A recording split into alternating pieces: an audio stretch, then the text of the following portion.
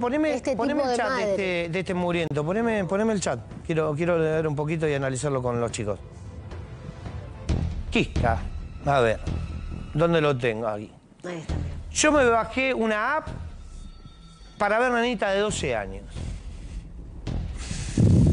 Vos me pasaste uno una vez y tenía como siete. Le dejaban el O así. Tremendo. Ay, Dios. Estos muchachos, arroz. como abogado o como persona, ¿qué se hace con este tipo? ¿Lo defendés? Todo abogado tiene un límite. Todo abogado tiene un límite. Los mismos abogados en el caso Logan, fíjate, los defensores lo que dicen. Si mi cliente tiene que ver con la desaparición de Logan, dejo la defensa. Eso por un lado. Por otro lado, yo te digo que constitucionalmente todo el mundo tiene derecho a ser defendido. Y este No. es un tema, este es un tema muy delicado, Nahuel. Muy delicado. Sí. Yo te cuento que eh, mi trabajo me lleva a ver causas de tenencia con fines de distribución de material sexual infantil todos los días. Todos los días, no como Correcto. abogado defensor, no como abogado defensor, pero no estoy en el Poder Judicial de la Ciudad de Buenos Aires, trabajo en delitos informáticos del lado de la defensa. Y yo veo estas causas todos los días. Y trabajo todos los días con los peritos que hacen las extracciones forenses de los teléfonos y las computadoras de estas imágenes, de estos tipos. Sí. Y te digo que veo muchas veces y me dicen, Hugo, esto es positivo. Miro así y me dicen, ¿cómo pueden defender a estos tipos?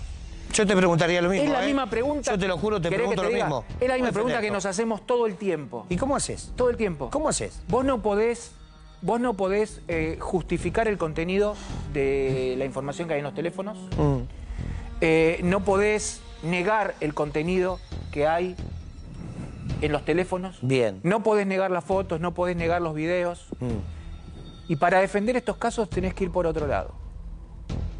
¿Por, El abogado defensor va por otro lado. ¿Por dónde? enfermo. ¿Por dónde? Va por las pericias psiquiátricas, Claro. por las pericias psicológicas. Con el tema que está enfermo, la arreglamos todo. Pero Eh, vos es sos- decir- a ver, vos como abogado, ¿sos consciente de que una buena defensa tuya a esta mierda la puede dejar en la calle? Sí, ¿Y, soy consciente como ¿Y también... dormís después?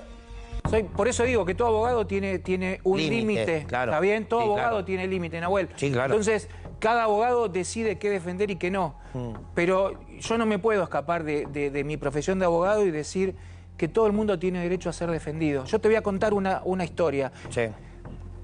Una vez me consultan acerca de un chico, chico, 19, 20 años, ¿ok? Sí. que, que le- lo allanan, le secuestran el material, le secuestran los dispositivos y se extrae de los dispositivos grooming. Conversaciones como esta que me acabas de mostrar. Sí. Nefastas, Nahuel. Pero se, sacaron de ahí. Yo veo la causa, empiezo a mirar toda la causa y había unos informes de la psicopedagoga o psicopedagogo de los colegios, del colegio Sí. donde este muchacho iba. 19 o 20 años, está bien mayor de edad. Ya sé que me- fue abusado, tuvo que... no, vos sabés que de acuerdo a lo que salía de los informes psicológicos y de la psicopedagoga, la edad cronológica del muchacho de 19 o 20 años, la edad cronológica no coincidía con la edad mental. ¿Y entonces? Estabas hablando de un menor de edad, mentalmente De que hablando. se quería... Entonces, ¿qué pasó con esa causa? Esa ca- Esa causa fue absuelto. Y te digo que había conversaciones como vos la que me acabás de mostrar, similares. ¿Y de la decís, fecha, cuándo fue esto? Cinco o seis años atrás. Cinco. ¿Y a la fecha qué pasó con ese muchacho? No, no tengo noticias, no sé. No lo siguieron. No, no sé. Es decir, pudo haber volteado 15 pibes más. Sí, Mira vos. Bien. no lo sé. Es decir, no, no quiero decir. Es, es un tema tan delicado. Es Tan muy delicado, Nahuel. Hugo. A ver, Tan delicado. tu- por ejemplo, ¿Vos, vos me entendés? vos sabés que yo hago, tengo, que grabo y muchos me cuestionan. Yo tengo Sí. mi canal de YouTube, yo grabo con narcos, con sicarios, eh, con motochorros, con estafadores, con viuda negra. Pero nunca vas a ver un video mío con un pedófilo. Está bien. Pero ¿sabes por qué? Porque violaría la ley. ¿Sabes por qué? Porque te lo lastimaría. Porque yo no tolero al que se mete con los niños. ¿Quién lo va a defender a este Quisca? ¿Por mí? Estamos de acuerdo. Yo te lo mando al Pero infierno. estamos de acuerdo. No tiene chance. Estamos de acuerdo. Salgamos de lo que es la moral. Ahí va. Esa es una palabra tan importante, Claudio. Mira, eh, a ver, para ser bastante concreto. Sí, No, voy a sacar no, turno no con él me va a tratar. viola, Yo no. sé, doctor, que me va a decir. No, no, Un no. profesional me tiene que tratar. No viola, no viola el que quiere, viola el que puede. Este es un concepto de pericia forense. No entendí. Ok, paso a explicar. Bien. Ninguna pericia forense, ninguna pericia forense, por ejemplo, con, con esta mugre, Mm. va a dar como resultado que esta persona es inimputable. Ninguna Bien. pericia. Ninguna pericia forense Sí. va a dar como resultado que esta persona es inimputable. Mejor. Bien, es Esperemos. punible. Esperemos. Absolutamente. ¿Es punible? Absolutamente. Bien, tengo la idea. Ya está. Absolutamente. Escúchame, tengo Las la idea. únicas personas inimputables son aquellas personas que tienen un tipo de afección, ¿sí? Tanto de organicidad como puede Sí. ser demencias Sí. o si- eh, psicopa- psicopatologías relacionadas con la esquizofrenia o la psicosis. No te agarra un buen abogado y te hace pasar por Bien, loco. escuchame lo que ¿eh? te digo. Escuchá lo Esto que te lo digo. vimos en todas Tengo- las películas, tengo- no lo inventé Tengo yo. una idea que Digo, me la acaba ir de dar Flor. Excelente idea. Excelente. cuando se reciba, es eso. Que vaya preso, que estudie Derecho, que se recibe y se defienda, con mucho gracia. Claro, falta todavía. Y que vaya a juicio por jurado, ¿no? Obvio. Quiero juicio por jurado. Sí. Siempre. Estos casos, juicio por jurado. Siempre. Bueno, te lo dice la Constitución Nacional desde, desde hace siglos, eh, un siglo. Pero- que los juicios son por jurado. Está bien, pero Lo que es- pasa es que no se pudo implementar por una cuestión, por una cuestión operativa en el país. Sí se está haciendo en Córdoba, sí se está, Está haciendo en la Ciudad de Buenos Aires. Claudio, yo quiero, yo quiero. Yo los programas míos, vos me conocés, yo lo hago primero muy dinámico y segundo lo hago que la gente entienda. Sí. ¿Sí? Yo necesito que la gente entienda. ¿Esta mugre nació enferma o, o se puede curar? ¿Qué pasó? Ni es enfermo ni se va a curar porque no es enfermo. Entonces no tiene que salir, muchachos. No, Claro. eh, es imposible que un psicópata se reinserte en la sociedad. Entonces, ¿para Por qué eso hay que volver a discutir el Código Penal. Sí. Violación es perpetua. Total. Pero Violación. perpetua, ¿qué es perpetua para vos? 25 años 30 y... hoy. O 30, Sí. bueno. Eh, pero sale, Es este, este pibe es joven, ¿eh? Es poco. Este En pibe es joven. definitiva, lo- lo que de- quiero decir ¿Cuántos años que- tiene dentro de 30 años? Lo que quiero decir es que es 30 y pico. imposible la reinserción de un psicópata. Es imposible. Es imposible. Porque es una forma de ser. Esto es lo que yo estoy tratando de hacerle entender o tratar de transmitir. Está Es- queriendo decir que somos duros, que el cabeza No, dura, no, no, entendemos. no. Sí, es No. cierto, puede Eh, ser, ¿eh? no, no, Ojo, no. está- y, y te- No está bien. queremos No, no, entender. no es la idea, no, lo que- lo que- queremos entender, lo- no es que vos, sos el, el especialista. Lo que yo Pero nosotros quiero- no queremos entender, no queremos entender que primero que yo le tenga que dar de comer a esta porquería. que- O sea, primero. Y todos me dicen, pero Tranquila, porque vos no le vas a dar. vos Terminen con eso porque vos no le vas a dar de comer.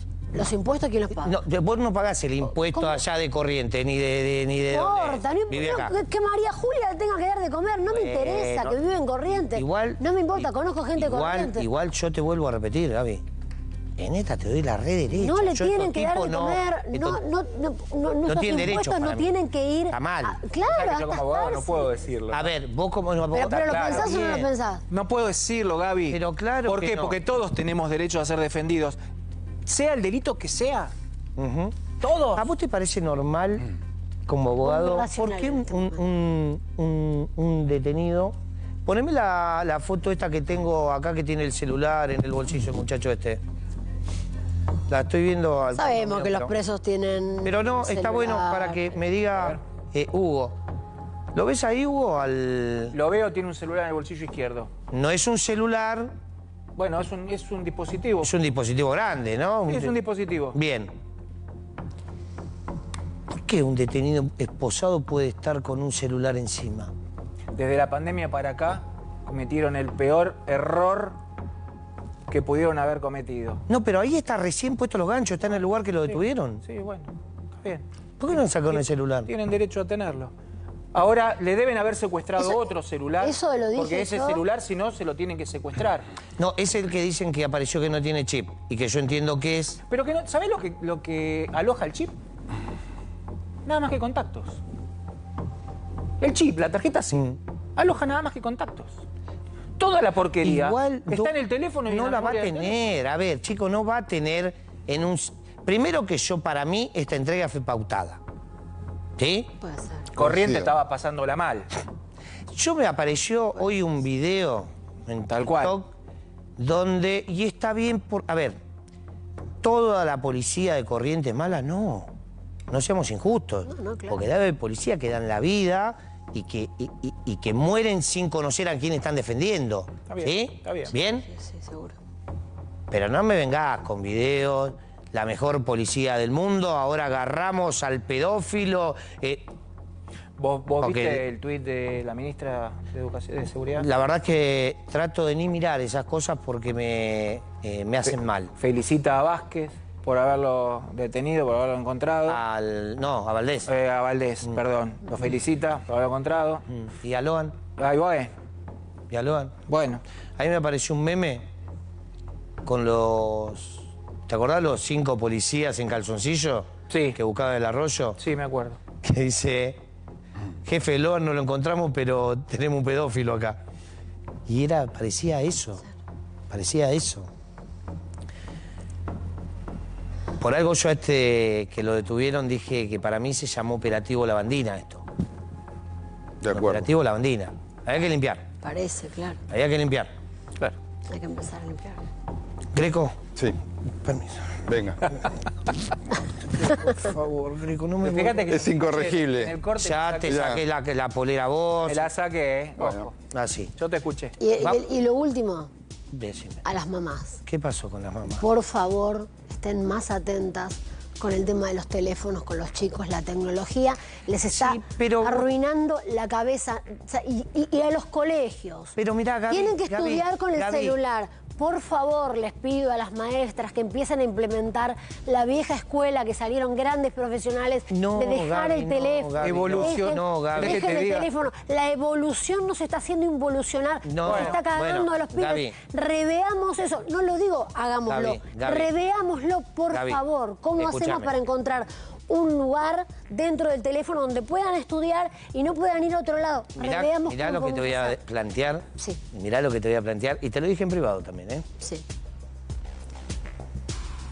Las cosas van sucediendo, la tecnología va avanzando y vos no podés condenar a tus hijos a que queden en el pasado. Coincido totalmente. Pero, Coincido. pero, Hay que controlar. bueno, Bueno. yo cuál es el consejo que a vos te dio un profesional que vino acá y te dijo, Sí. no subas fotos de tu hijo Sí. en tus redes. Sí.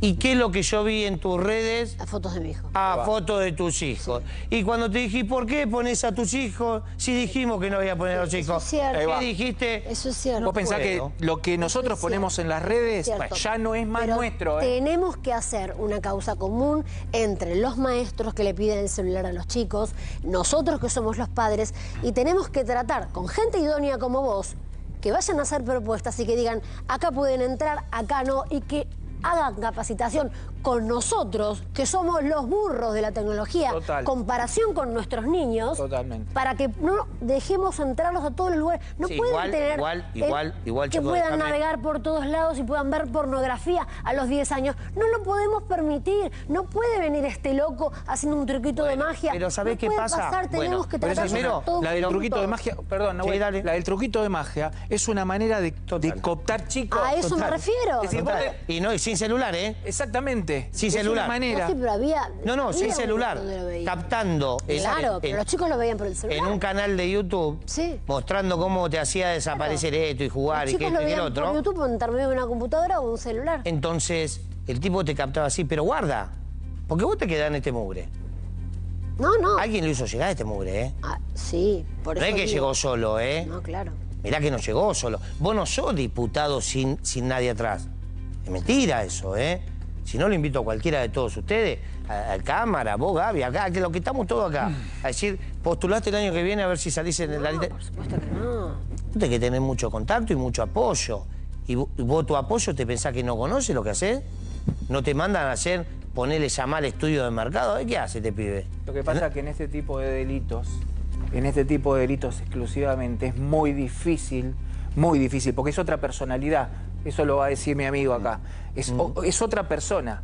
Vos acá, eh, la- eh, el tipo, el tipo de, que tienen los pedófilos es totalmente diferente de- delante de la computadora que detrás de la computadora.